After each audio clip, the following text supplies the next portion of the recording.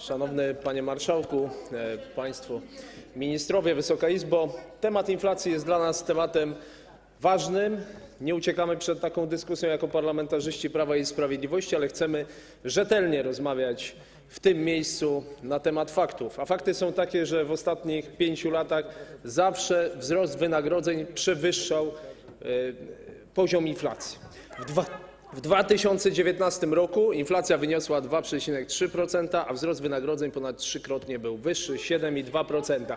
Jeżeli mówimy o faktach, to oczywiście gdyby nie ambitna polityka społeczna i odpowiedzialna polityka fiskalna rządu Prawa i Sprawiedliwości, to niewątpliwie w dzisiejszym, w 2021 roku byłby dużo większy problem. Gdyby wtedy rządziła Platforma i nie było tych e, świetnych programów polityki rodzinnej, Rodzina 500+, Wyprawka Dobry Start, e, czy kwestia podwyższonych świadczeń społecznych, czy kwestia wzrostu płacy minimalnej z 1750 zł do 2800 zł, to jaka byłaby dzisiaj sytuacja Polaków?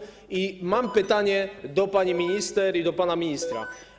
Chciałbym, żebyście Państwo poinformowali, kiedy rząd przedstawi e, projekt tarczy antyinflacyjnej i czy pani minister ma takie informacje, że w samorządach, na przykład w najbogatszym samorządzie w Polsce, w Warszawie, czy jest przygotowywany jakikolwiek pakiet antyinflacyjny? Bo w Warszawie mamy wysokie ceny wody, Proszę ścieków, zmierzać do cen konkluzji, biletów panie komunikacji miejskiej, cen parkowania.